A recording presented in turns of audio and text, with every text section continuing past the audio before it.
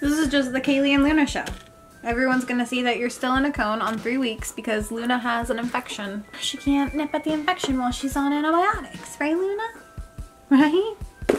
Whoa, Luna, you're just stealing the show. stealing the show.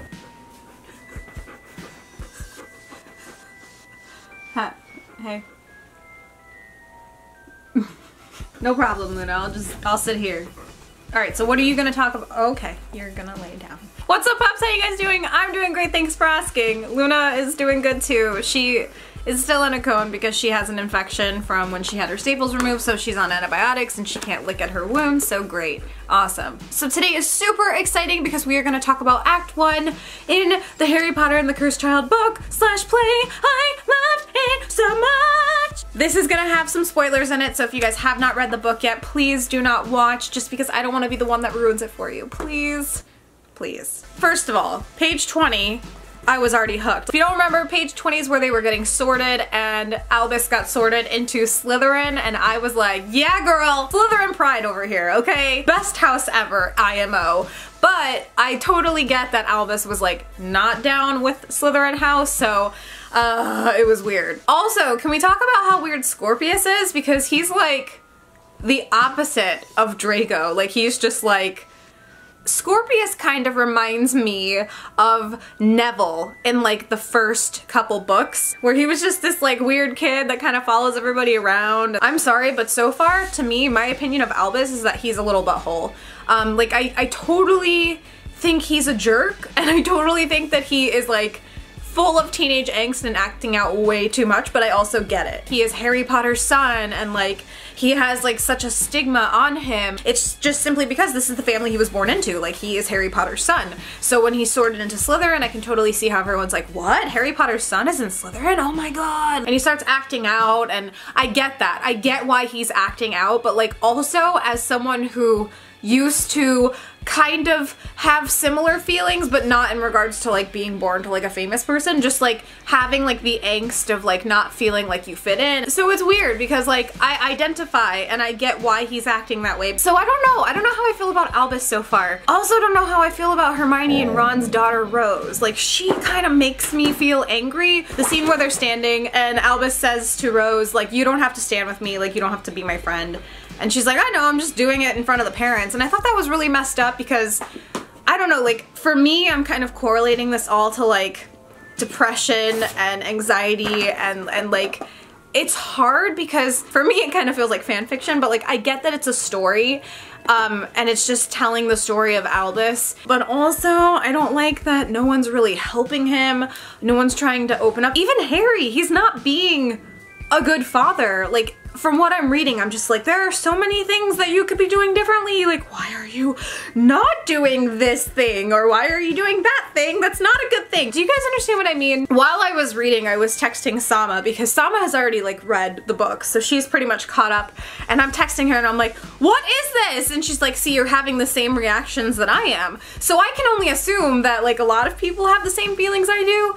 It just feels weird. Like it's, it's so, it's so strange because I feel like I'm reading something that's not real. This like reaction is all over the place by the way, but I really do feel like I, it's not, it's not real. Like I'm not reading something that's real. Like, I don't know.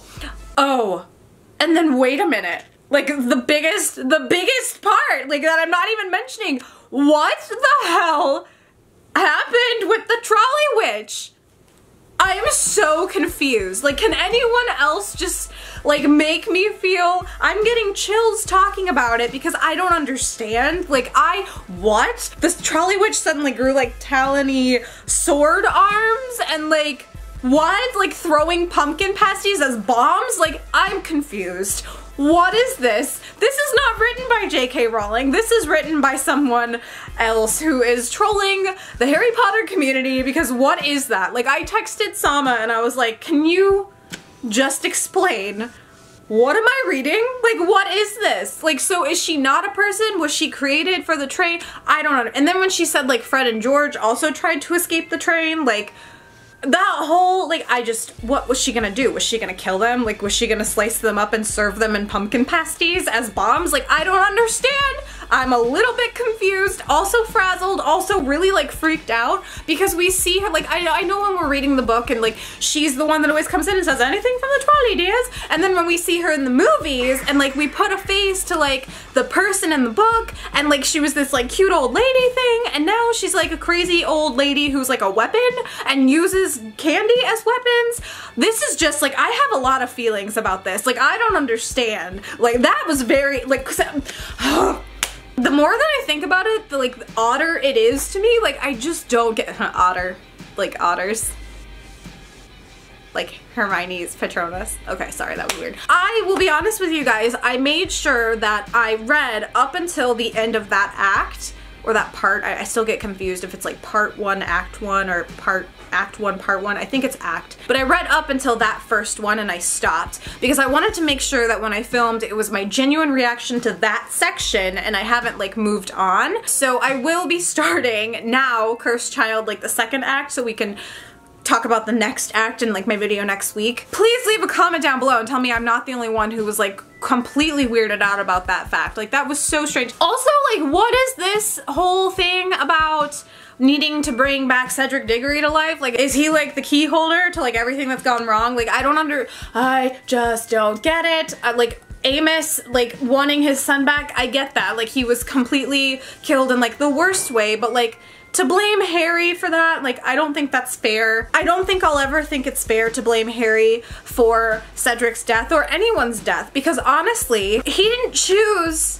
to be the chosen one. He didn't choose to be the one who Voldemort tried to kill and his he lost his parents. Like he didn't choose any of that. Like he didn't want people to die for him. So I think it's very unfair to blame him for the deaths that followed because honestly, if it wasn't Harry, it would have been someone else. It would have been Neville. Like it would have been someone else. So to blame Harry for all of that, I don't think that's fair. I know I just said that like 17 times. But I do find it very weird that like they're like, we need to save Cedric. Let's go back and save Cedric. Like that's I don't know about that. But also the vibe that I got from like Scorpius and Albus and like this, I forgot her name already.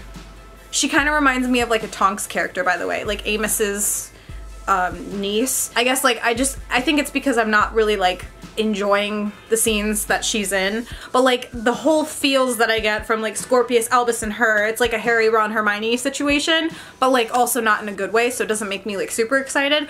This video is all over the place. I'm like realizing that I'm just talking. Like I'm just spouting off things, but I guess like that's what this is supposed to be, right? Like my honest reaction because I, I genuinely am very confused. I don't know how I feel about it. And also as I'm reading it, I'm like wondering simultaneously like how they are portraying this on stage. Like as I'm reading and there's like something magical that happens or, or whatever, like I'm just like, how are they doing that on stage? Like it makes me want to see it in person. I'm envisioning it in my head, but I'm also envisioning it like I'm watching one of the Harry Potter movies. So I'm using the visuals from what I've seen previously, you know, like I'm putting Albus like I'm using the, the, the kid from like the last movie, like in my head. I'm like, okay, this is Albus. Like it's weird. By the way, I just noticed that my lighting got like totally crazy because it's about to like thunder and lightning. So it's dark outside and the only light is coming from my ring light.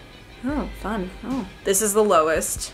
Actually, it's not that bad. This is the light that I had it on. Let's put it right here. I think that's, what do you guys think? Is this better? I don't know. We're almost done with this video anyway. Regardless, I am like, I'm definitely enjoying the book so far. I really do feel like it's like the fan fiction that I never wanted. Like it's kind of strange. I do want to read the next part so that I can experience this awkward fan fiction alternate reality of Harry Potter that I never expected. Also, Hermione, Minister of Magic, I am so okay with this. Get it, girl.